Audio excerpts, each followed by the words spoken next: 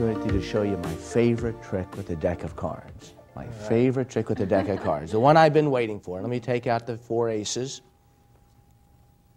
And we're going to need some indifferent cards to go on top of each of the aces. Okay?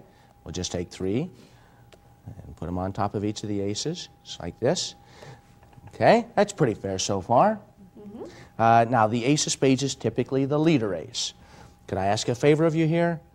Cover that such a way that there's no way that I can get at. it. I mean, you, you trust him, don't you? Sure. Oh. Looks like the jury's still out, but I trust you. I trust you. Oh, come on, EA. And I'm going to give you the deck so that there's no confusion there. We'll only use the cards that are on the table now.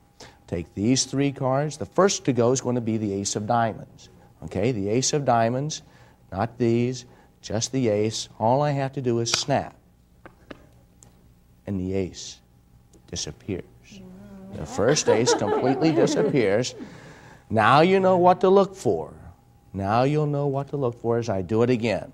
You take the ace, and all I'll do is just kind of rub it like this, and the next ace disappears. Oh, no. It's two aces gone.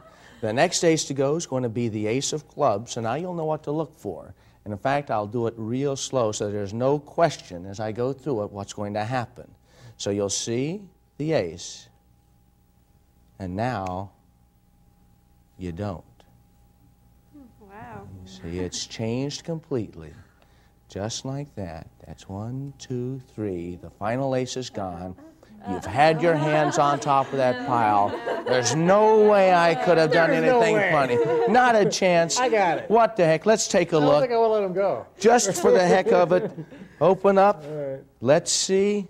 There's three cards in there. There's the ace of spades, and by golly, there's the ace of clubs, the ace of diamonds, and the ace of hearts. Oh, That's it.